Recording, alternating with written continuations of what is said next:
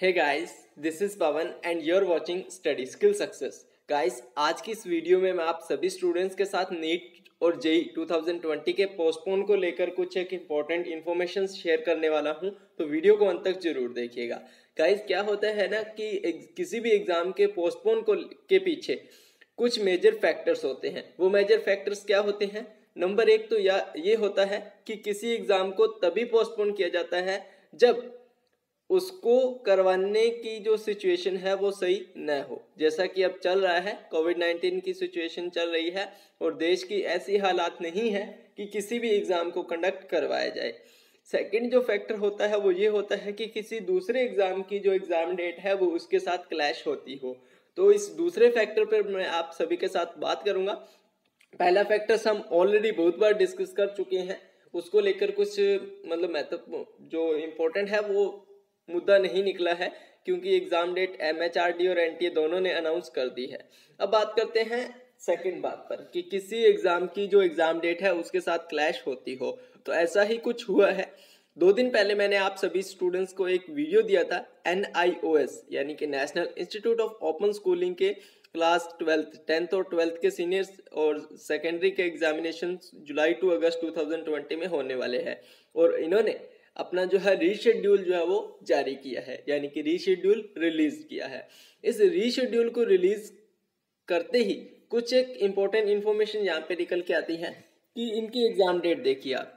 सबसे पहले अगर हम जेई की बात करें तो जेई के आपके एग्ज़ाम जो है वो 18 से 23 जुलाई के बीच होने वाले हैं। 18 से 23 जुलाई। और इनकी अगर एग्ज़ाम डेट देखें तो सैटरडे 18 को भी एग्ज़ाम है 20 को भी एग्ज़ाम है 21 को 22 को और 23 को। सिर्फ़ और सिर्फ़ 19 तारीख को छोड़कर जो है वो इनका उन्नीस तारीख को इनका एग्ज़ाम नहीं है, बाकी एवरी डे इनका जो है वो एग्ज़ाम है। ऐसे में इनकी एग्ज़ाम डेट क्लैश हो रही है और जो बच्चे जो एनआईओएस का एग्ज़ाम दे रहे हैं, वो जेई और नीट का एग्ज़ाम नहीं दे पाएँगे तो इसके लिए इसकी पोस्टपोन की जो पॉसिबिलिटीज है वो बढ़ जाती है। अगर हम जे नीट की बात करें तो नीट के क्लैश तो नहीं हो रही नीट की डेट यानी कि नीट का एग्ज़ाम आपको 26 जुलाई को है आपका तो 26 जुलाई का इनका कोई एग्ज़ाम नहीं है 23 के बाद 24 के बाद 24 के बाद सीधा 27 को इनका एग्ज़ाम है 25 और 26 25 एंड 26 दोनों एग्ज़ाम डेट, दो जो डेट है, वो फ्री रखी गई है, दो डेट को एग्ज़ाम नहीं है। लेकिन 25 और 26 के, मान लेते हैं 26 को आपका नीट का एग्ज़ाम है, लेकिन नीट का एग्ज़ाम भी इनके एग्जामिनेशन के बीच आ रहा है, यानी कि इनका अगर एग्ज़ाम सेंटर दूर है तो 27 को इनका एग्ज़ाम है। अगर 26 को ये नीट का एग्ज़ाम देने जाएँगे तो एग्ज़ाम आपका पाँच बजे खत्म होता है शाम को।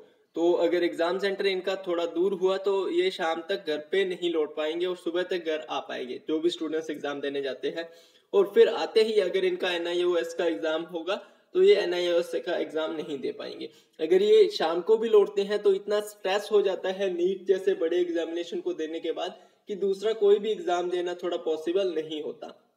तो मुद्दा यहाँ पे यही है, मैं यही कहना चाहता हूँ कि एन जो national institute of open schooling board है, उसकी जो एग्ज़ाम डेट्स है, वो नीट और जेई दोनों के साथ क्लैश हो रही है। जेई के तो प्रॉपर क्लैश हो रही है नीट के साथ क्लैश नहीं हो रही, लेकिन नीट का एग्ज़ाम इन एग्जामिनेशन के बीच में आ रहा है। तो ऐसे में ऐसे में पॉसिबिलिटीज बढ़ सक, बढ़ जाती है आपकी नीट और जेई के पोस्टपोन होने की। आपको क्या लगता है? कमेंट करके ज़रूर बताइएगा। एंड ऐसे ही महत्वपूर्ण अपडेट्स आपको इस चैनल पर मिलते रहेंगे तो चैनल को सब्सक्राइब करके बेल आइकन को प्रेस ज़रूर कर लीजिएगा। इंस्टाग्राम पर भी आप हमें फॉलो कर सकते हैं लिंक डिस्क्रिप्शन में है। या आप सिंपली अगर सर्च करेंगे स्टडी स्किल सक्सेस तो भी अकाउंट मिल जाएगा। अगर नीट के स्टडी मटेरियल्स के से रिलेटेड कोई भी कंफ्यूजन है तो टेलीग्राम पर सर्च कीजिए स्टडी स्किल सक्सेस आपको चैनल मिल जाएगा। उस चैनल पर आपको नीट से रिलेटेड जितना भी स्टडी मटेरियल है, वो मिल जाएगा। ठीक है गाइज़ बाकी मिलते हैं नेक्स्ट वीडियो में। तब तक के लिए good luck and have a nice day